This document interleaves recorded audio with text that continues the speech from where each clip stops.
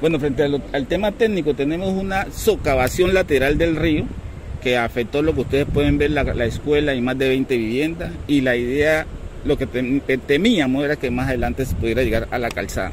Frente a eso hicimos unos estudios de diseño y hoy se va a construir un muro de 354 metros con 5 metros de altura para mitigar todo este sector que es lo que se estaba socavando y podían irse abajo. Esto además de, ser un muro, pues va a quedar una especie de escalinata y esta escalinata va a permitir que la gente de afuera de este sector y los mismos, los mismos que viven aquí puedan utilizar esto como un mirador.